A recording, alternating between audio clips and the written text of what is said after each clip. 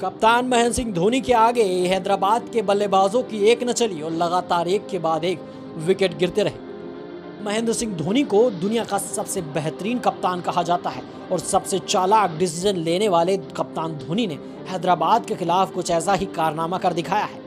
पिछले मुकाबले में जेसन रॉय ने 60 रनों की तूफानी पारी खेली थी, लेकिन इस बार उनका सामना कप्तान धोनी से था और धोनी ने गेंदबाजी पे तुरंत हेजलवुड को लगाया। हेजलवुड अमूमन तेज गेंदबाजी करते हैं और उन्होंने जेसन रॉय को कई बार गेंदबाजी की है।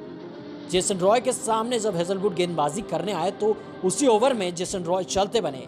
एक स्लोअर गेंद का इस्तेमाल करते हुए हेजलवुड ने धोनी के हाथों कैच आउट कराया जेसन रॉय को। धोनी ने अपनी चालाकी का सबूत देते हुए फिर से ड्वेन ब्रावो को जल्द ही गेंदबाजी पर लगाया, क्योंकि सामने थे हैदराबाद के कप्तान केन विलियमसन।